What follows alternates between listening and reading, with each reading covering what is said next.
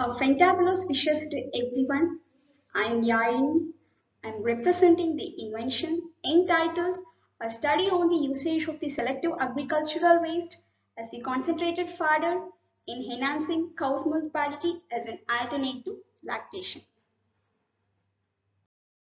So, what is the soul of the objective is by using agricultural waste as a concentrated fodder, this fodder keeps the cow more stronger and the milk produced by this was suggested to whole age people, especially to newborn babies, children, patients, pregnant and lactating women. So now we will see what is A1 milk and A2 milk. A1 milk is the most abundantly available and the most commonly consumed milk today. A1 milk is obtained from cows of western origin like Jersey, etc.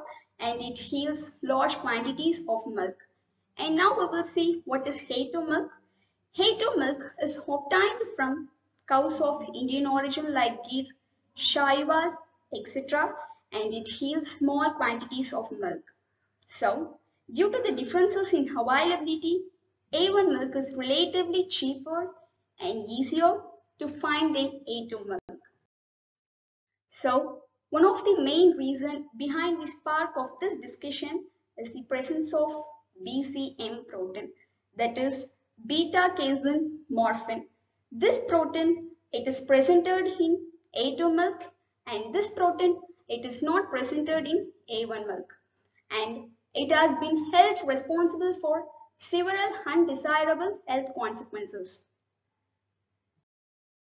So now we will see the formulation of Tharan fodder. In this, we were used raw materials or grinded separately and then mixed it together. Now we will see the ingredients. The ingredients are maize, wheat, pearl millet, cottonseed cake, groundnut cake, bellar dal, split rice, pigeon peas, wheat bran, rice bran, dal husk, roasted gram, skin husk, mineral mixture, salt and rice granules. Uh, these are the Tharan fodder which were used in this product. So benefits of using these ingredients are maize. First we will see about maize. Uh, maize produces rich and nutritious green fodder and it is a good source of carbohydrate. Then wheat. Wheat has more protein, less fiber and higher value than barley and oats. Next, pearl millet. Pearl millet is known to produce more nutritious cereal grain. And then groundnut oil cake. Groundnut oil cake is one of the best protein supplement to livestock feeding and is extensively used. And then pigeon pea split rice. Pigeon pea split rice is rich in protein, dietary fiber, magnesium, phosphorus, potassium, copper and manganese. And then last, mineral mixture. Mineral mixture contains all essential minerals in required quantities, which is a blend of high quality vitamins and minerals. So these following raw materials are grinded separately, then mixed together in the following grinded ingredients. So what is the conclusion? By giving this feed, a cow can give birth to 10 calves with high yield milk.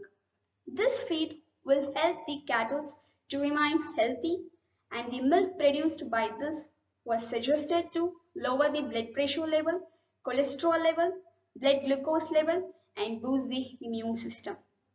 Hence, it is concluded that Tharan fodder is an excellent supplement and suggested to all age group people. Thank you.